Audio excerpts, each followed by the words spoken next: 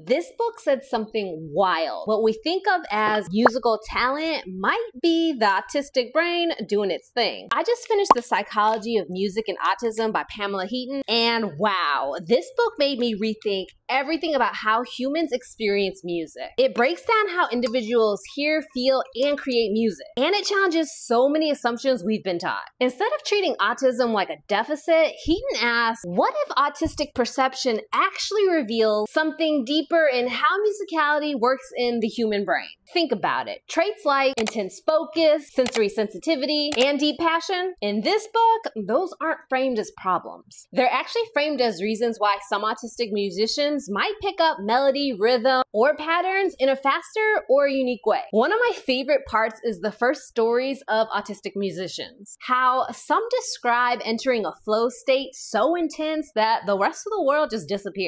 It's neurodiversity, education, creativity, and humanity all braided together. It asks us to stop seeing musicality as one normal standard, start seeing it as a spectrum of human expression. So if you're into music neuroscience, autism research, or you just love books that change how you think, you need this one. Add it to your TBR